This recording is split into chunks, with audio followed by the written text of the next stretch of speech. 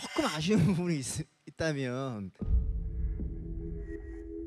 그 음정을 아예 잘못 파악하고 부른 부분이 지금 좀 많이 있더라고.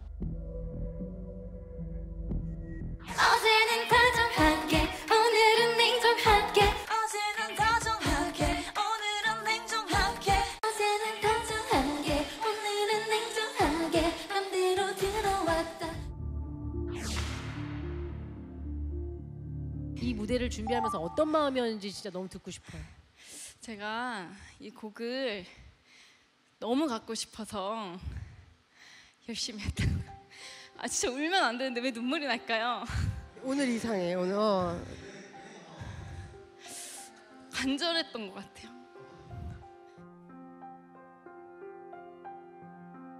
네, 일단 노래도 너무 마음에 들고 가사도 제가 표현할 수 있는 그런 가사 라고 생각을 했거든요. 그렇기 때문에 이 곡에 굉장히 애착이 있었던 것 같아요.